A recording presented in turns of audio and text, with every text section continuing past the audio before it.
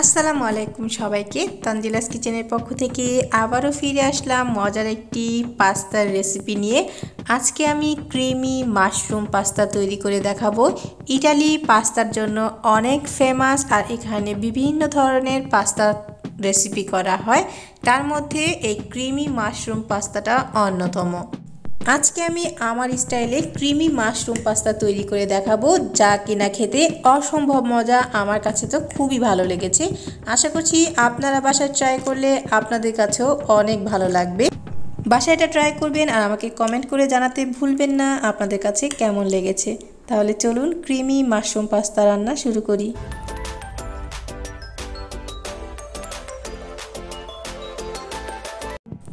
আমি এখানে কিছু পাস্তা নিয়ে নিয়েছি। আপনারা যদি এই শেপের পাস্তা হাতের কাছে না পান, সেক্ষেত্রে অন্য যে কোনো পাস্তা হলেও হবে। নিয়ে নিয়েছি ফ্রেশ মাশরুম। এগুলোকে ইটালিতে কিন্তু ফুঙ্গি নামে চিনে। মাশরুমের উপরে দেখবেন একটি উপ পার্ট আছে, যেটা হাত দিয়ে এরকম করলেই উপর থেকে ছুটে আসছে। আমি কিন্তু সবসময় মাশরুম রান্না করলে উপর থেকে এই চামড়াটা ফেলে দেই। এতে করে আমার কাছে খেতে বেশি ভালো লাগে। সবগুলো পরিষ্কার করা হয়ে গেলে এগুলোকে আমি পাতলা করে কেটে নিব। যারা মাশরুম খেতে পছন্দ করেন না, এভাবে পাস্তার সাথে রান্না করে দেখবেন আমার মনে হয় আপনার কাছেও ভালো লাগবে। আর এই মাশরুমটা কিন্তু আমাদের স্বাস্থ্যের জন্য অনেক উপকারী, অনেক রোগ প্রতিরোধ ক্ষমতা আছে এই মাশরুমের। মাশরুমগুলো কাটা হয়ে গেলে এখন আমি এক কোয়ার মতো রসুন নিয়েছিলাম। এটা ভালো করে ধুয়ে পরিষ্কার করে একদম পাতলা করে কেটে নিচ্ছি। চেষ্টা করবেন একটু কুচি করে কাটতে। তারপর অর্ধেকটা পেঁয়াজ নিয়ে নিয়েছিলাম। এটাকেও আমি চিকন করে কেটে নিচ্ছি।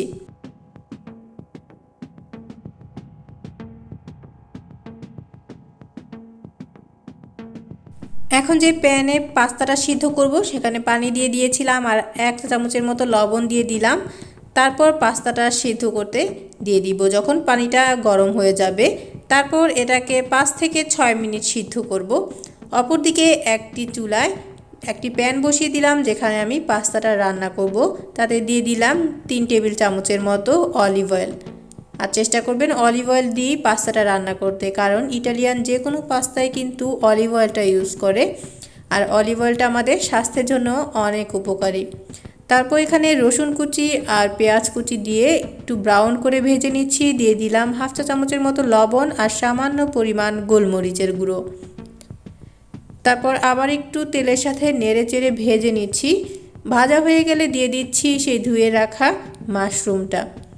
মাশরুম দিয়ে এই রসুন আর পেঁয়াজের সাথে ভালো করে আমি ভেজে নিব। কিছুক্ষণ পর দেখবেন মাশরুম থেকে অনেকটা পানি বের হয়ে এসেছে। আর এই পানিটা দিয়ে কিন্তু মাশরুমটা সিদ্ধ হয়ে যাবে। যদি সিদ্ধ না হয়, পাস্তা যে সিদ্ধ বসিয়েছিলাম, সেখান থেকে আমি একটা চামচের মতো পানি দিয়ে দিলাম। তারপর এখানে দিয়ে দিব ফ্রেশ ক্রিম।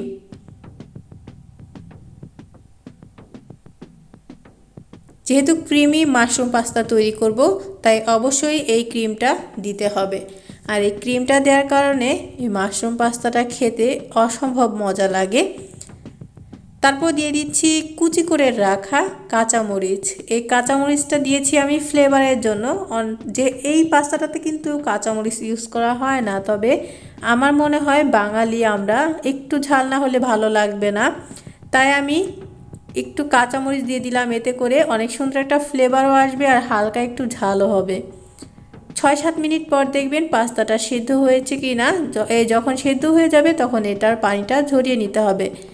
পানিটা ঝরিয়ে নেওয়া হয়ে গেলে আমি সেই ক্রিম আর মাশরুমের মধ্যে পাস্তাটা দিয়ে দিলাম। দিয়ে ভালো করে নেড়ে চেড়ে মিশিয়ে দিচ্ছি। ক্রিমের মধ্যে পাস্তাটা দিয়ে দেওয়ার পর এটাকে বেশিক্ষণ চুলায় রাখা যাবে না। দুই তিন মিনিট নেড়ে চেড়ে সসের সাথে মিশিয়ে চুলার জালটা বন্ধ করে দিতে হবে। চুলার জালটা বন্ধ করে দিয়েছি। এখন উপর দিয়ে আমি হালকা ধনে পাতা কুচি ছিটিয়ে দিব। এতে করে ফ্লেভারটা ভালো আসবে আর কালারটাও অনেক সুন্দর লাগবে। এটা কিন্তু চুলার জালটা বন্ধ করে দেওয়ার পরে দিয়েছি। তারপর আবার একটু নেড়ে চেড়ে দিচ্ছি গরম থাকতে। তারপর এটাকে নামিয়ে নিচ্ছি এখন পরিবেশনের জন্য রেডি আপনারা আপনাদের পছন্দ মতো সার্ভিং ডিশে ঢেলে সার্ভ করতে পারেন আর অবশ্যই কিন্তু এটা গরম গরম সার্ভ করতে হবে কারণ এই পাস্তাটা গরম গরম খেতেই ভালো লাগে, ঠান্ডা হয়ে গেলে কিন্তু ভালো লাগবে না। তৈরি হয়ে গিয়েছে দারুণ মজায় ক্রিমি মাশরুম পাস্তা। এই পাস্তাটি খেতে রেস্টুরেন্টের পাস্তা থেকে কম মজা হয়নি। আশা করছি বাসায় অবশ্যই ট্রাই করবেন। ভিডিওটি ভালো লাগলে লাইক, কমেন্ট, শেয়ার করতে ভুলবেন না। আর যারা এখন আমার চ্যানেলটিকে সাবস্ক্রাইব করেননি প্লিজ চ্যানেলটিকে সাবস্ক্রাইব করে বেল বাটনটি বাজিয়ে রাখবেন এরকম নিত্য নতুন রেসিপির ভিডিও পেতে। আজ এ পর্যন্তই, সবাই ভালো থাকবেন, আল্লাহ হাফেজ।